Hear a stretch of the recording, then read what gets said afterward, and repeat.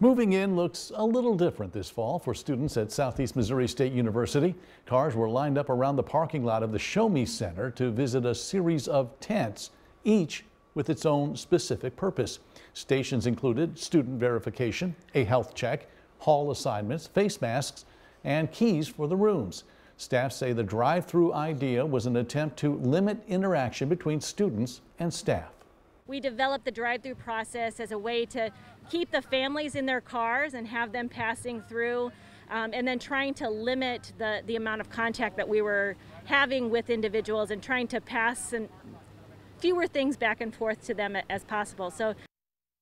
The school has already moved in Greek life and band students and plans to continue with new transfer and returning students in the coming days. Students are also limited to two guests to help them through that move-in process.